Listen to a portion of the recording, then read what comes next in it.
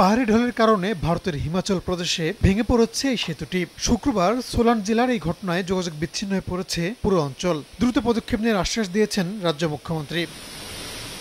সোলানের মতো একই চিত্র রাজ্য জুড়ে। ভারী বৃষ্টিপাত অব্যাহত থাকায় অনেক জায়গায় রাস্তাঘাট ক্ষতিগ্রস্ত হয়েছে নতুন করে ভূমিধসের ঘটনা আরও বাড়তে পারে বলে আশঙ্কা প্রকাশ করা হয়েছে। এরই মধ্যে বেশ কয়েকটি ভবনকে ঝুঁকিপূর্ণ ঘোষণা করেছে কর্তৃপক্ষ।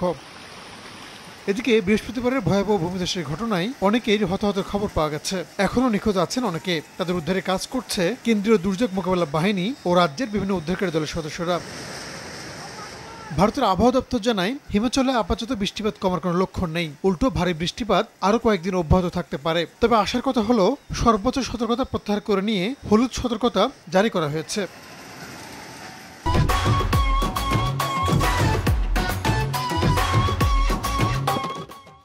চলতি বছর বন্যা ভূমিধসের কারণে ব্যাপক ক্ষতির মুখে পড়েছে ভারতের রাজ্যটি। এখন পর্যন্ত বারো হাজারের বেশি ঘরবাড়ি ক্ষতিগ্রস্ত হয়েছে।